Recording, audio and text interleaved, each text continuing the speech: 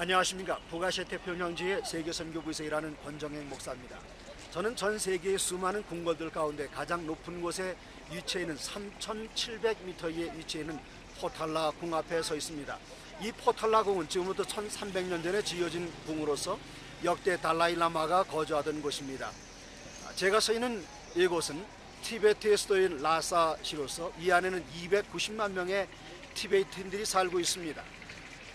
이 중국의 한 성인 시장성 또 다른 이름으로 티베트에는 어, 수많은 어, 불교도들이 살고 있는데 이 가운데는 아직까지 제7난식일 예수령교회가 단 한 곳도 세워져 있지 않고 우리 제7난식일 예수령교인들은 단 한 명도 이곳에 있지 않습니다. 중국 전체에는 13억의 인구가 있고 그 가운데 38만 명이 제7난식일 예수 재림교인입니다만은 이곳에는 단 한 사람도 없습니다.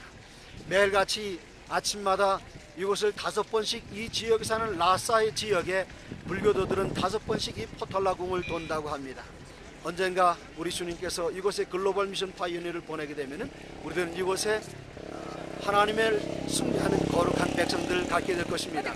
그 날이 올 때까지 사랑하는 한국의 성도님들 이곳에 신속하게 복음이 증거될 수 있도록 기도해 주시기를 간절히 바랍니다. 올해는 특별히 저희 글로벌 미션이 시작된 지 20년째 되는 특별한 한 해입니다. 여러 성도님들의 특별한 기도를 부탁드립니다. 대단히 감사합니다.